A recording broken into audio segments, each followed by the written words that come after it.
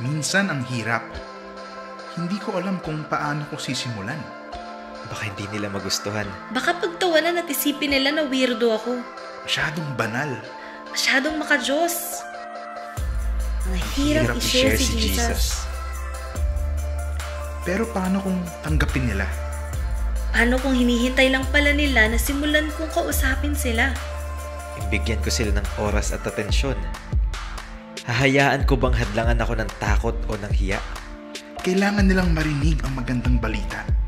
Kailangan kong i-share si Jesus. Hindi man ako makakapagpabago sa kanila, Pero pwede kong ipakilala ang tunay na may kakayahan.